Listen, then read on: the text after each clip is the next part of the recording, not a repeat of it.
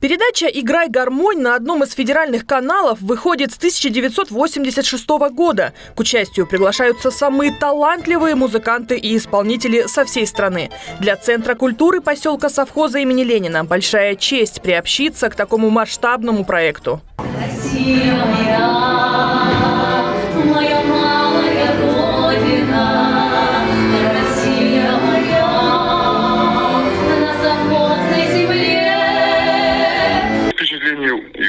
организаторов и участников э, поездки масса, конечно. Это в первую очередь новое общение, это в первую очередь новый опыт работы, потому что э, мы нам никогда не предоставлялась такая возможность посмотреть изнутри все тонкости съемочного процесса, познакомиться с организаторами, познакомиться с ведущими. Съемкам предшествовал тщательный конкурсный отбор. В нем участвовало более 200 коллективов. От Центра культуры совхоза имени Ленина к созданию нового выпуска передачи допустили 6 номеров.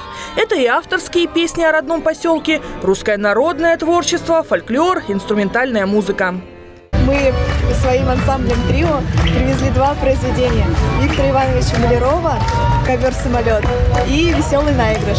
На съемках передачи «Играй гармония» впервые, но впечатлений и эмоций масса, которые нельзя выразить словами. Эти дни для участников выдались непростыми. Из-за большого количества коллективов съемочные дни заканчивались за полночь. Но, по словам наших земляков, потраченные силы стоили результата. Съемочные дни сложные эмоционально, потому что приходится постоянно быть на позитиве, а обращаешь внимание на других людей, у которых настроение портится. Мало того, надо им поддержать, еще и себя не потерять. Поэтому это очень такой ценный опыт, но все настолько весело, задорно. А еще больше, наверное, повезло Ксении Крутовой из инструментального коллектива Сашки Наташки, которой посчастливилось играть на гармонии основателя телевизионного шоу, композитора Геннадия Заволокина. Это был мой э, счастливый билетик. Э, гармошки нужной тональности у меня с собой не было, а песню очень хотелось исполнить. И мне Анастасия Геннадьевна э, разрешила взять инструмент своего отца и для того, чтобы я на нем исполнила песню.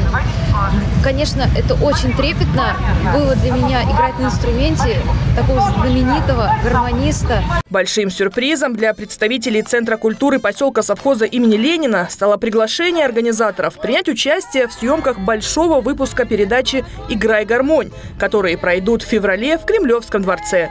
Юлия Погосян, Ольга Садовская, Видное ТВ.